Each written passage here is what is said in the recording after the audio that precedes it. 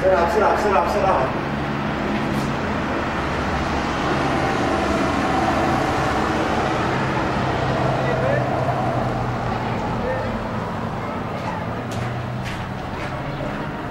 يبرود 25 8 2013 قصف مدفعي عنيف على طريق الفاروق.